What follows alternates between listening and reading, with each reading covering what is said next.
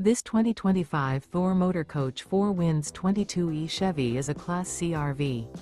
It is located in Turlock, California, 95382 and is offered for sale by Best RV Center. Click the link in the video description to visit RVUSA.com and see more photos as well as the current price.